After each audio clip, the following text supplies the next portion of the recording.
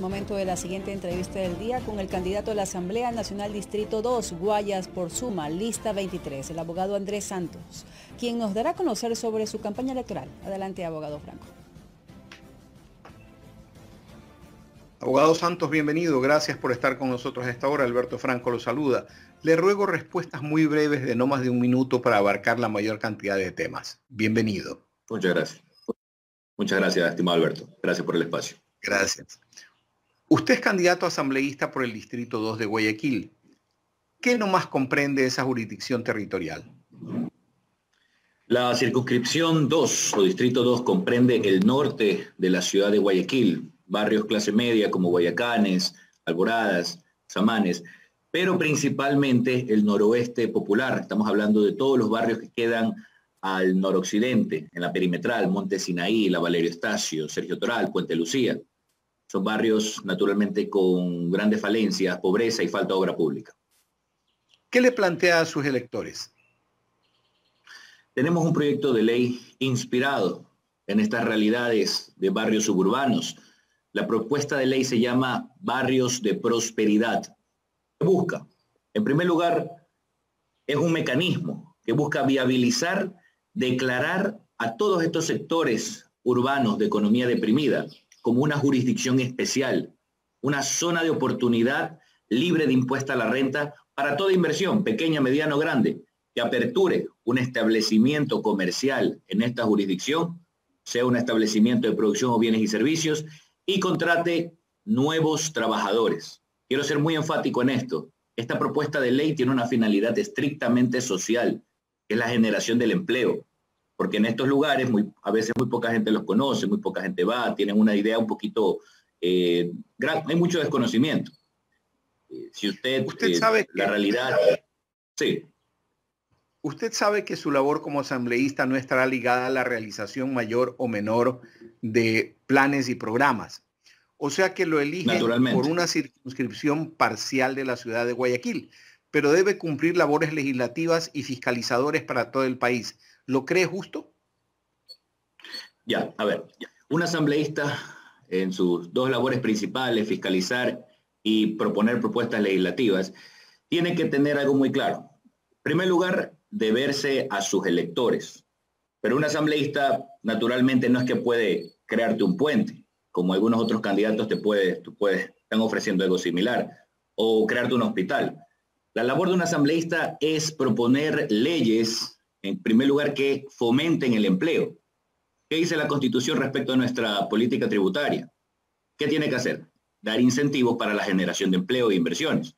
Entonces, en otras palabras, esta es una propuesta de ley que a través de un beneficio tributario, que son estas jurisdicciones especiales que se llaman barrios de prosperidad, van a generar, van a traer inversión a estos barrios mal llamados marginales, van a traer inversión y nuevas plazas de trabajo.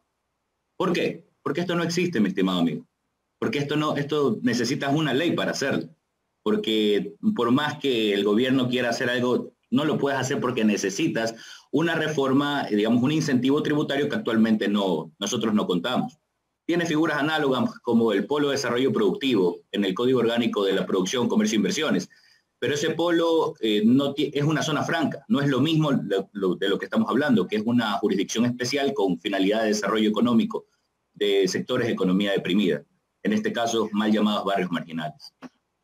Existe dentro del Código de la Producción las llamadas sedes, zonas especiales de desarrollo. Yo sé que tienen tendencia hacia el tema aduanero, pero con una breve reforma no podrían transformarse en lo que usted está planteando. Mm, o sea, a ver, le cuento que no tanto. ¿Por qué? Porque Barrio de Prosperidad también dispone una segunda fase.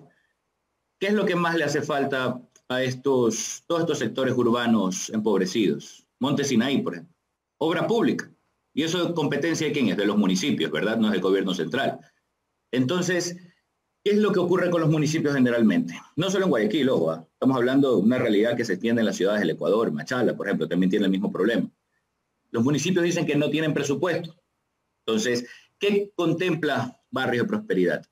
El IVA recaudado, porque la exoneración es el impuesto a la renta, el IVA recaudado en esta jurisdicción está destinado no a las arcas del centralismo, sino un fondo, es un fideicomiso público denominado el Fondo de Prosperidad, para su reinversión en el mismo sector, en la misma jurisdicción. ¿En qué tipo de obras? Esta reinversión tiene que ser ejecutada y podría habilitarse este modelo de gobernanza mixto entre el Ejecutivo y el gobierno seccional para que puedan firmar un contrato de ejecución y financiamiento de obras como pavimentación, alcantarillado, agua potable, obra, obra pública que en sentido común todos los que hemos ido a los sectores populares sabemos que es lo que hace falta. Esta ley lo que hace es habilitar algo que actualmente no se puede hacer. En primer lugar, lo que necesitamos, aparte de la obra pública, ¿qué? Trabajo. ¿Cómo creas trabajo? Atrayendo la inversión. ¿Cómo la creas? A través de una jurisdicción especial. Esta, esta es prácticamente nuestra propuesta legislativa, que la estamos dando a conocer en cada sector, barrio y cooperativa popular de la ciudad de Guayaquil, para que sepan exactamente que esta es la causa que defendemos. Abogado, existe una cuestión fundamental. Conforme al artículo 301 de la Constitución de la República, la creación, modificación, derogatoria de impuestos en cualquiera de sus formas corresponde a una iniciativa del Ejecutivo. ¿Cómo va a conseguir para que el Ejecutivo traslade esa iniciativa o envíe esa iniciativa de modificación del uso del IVA y de eliminación del impuesto a la renta a quienes lleguen a usar esas sedes. Ya. De la misma manera que mi presidente, Guillermo Celi Santos, consiguió crear y reformar los polos de desarrollo productivo en la, en la reforma del 2019. En el 2019, Guillermo Celi fue el autor precisamente de la, de la figura del polo de, desarrollo productivo y sobre todo los que se encaminan hacia el sector turístico. ¿Qué es lo que hace un asambleísta? Lo que, lo que realiza el asambleísta es incorporar la propuesta dentro de una propuesta principal que la plantea el Ejecutivo. Ahora, recordemos que no estamos hablando de una supresión de un tributo, estamos hablando de una canalización de un recurso particular. Por lo mismo, pues sí, sí teníamos contemplado también que eso es, es una facultad privativa de, la función ejecutiva, sin embargo, eh, como asambleístas, esto no es la primera vez que sucedería, mi, mi, líder, que es Guillermo Celi, ya lo hizo, ya lo aprobó, él, es el autor de esta, de esta, de esta figura innovadora que lamentablemente el gobierno actual jamás la, ejecutó, jamás la ejecutó, no, no, no le ha sacado el provecho a esta figura que realmente puede cambiar el mundo y la industrialización del Ecuador.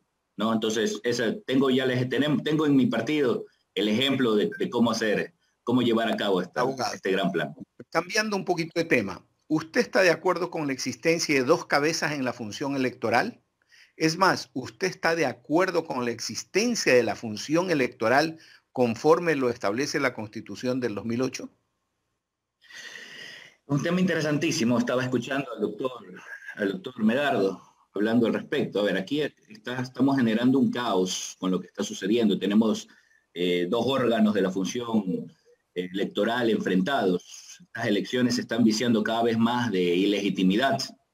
Temo mucho que pase lo que está sucediendo en Estados Unidos actualmente.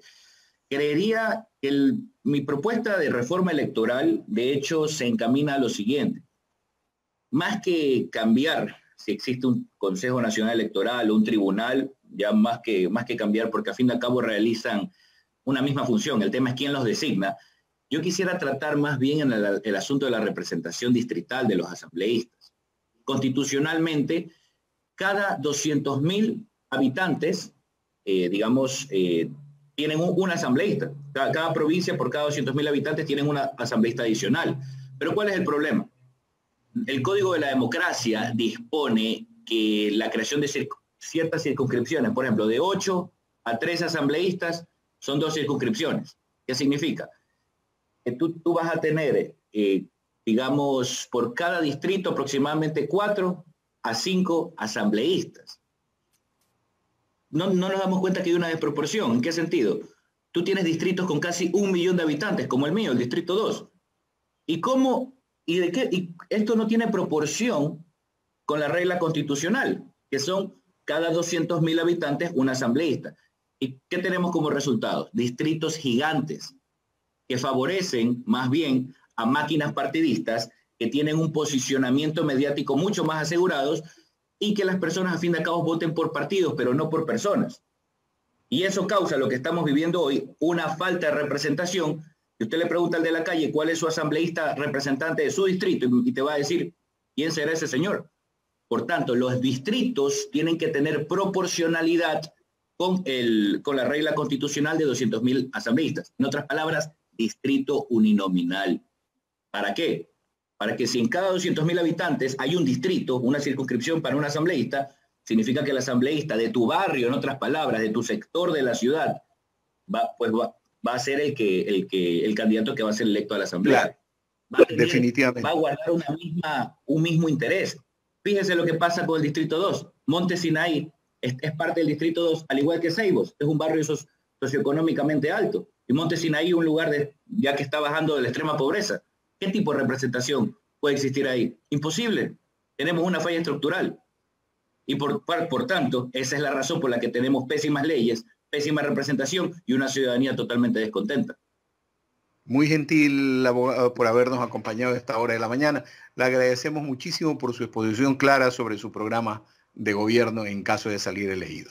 Un muy buen día. A ustedes por darme esta oportunidad. Muchísimas gracias, estimados amigos de la Católica.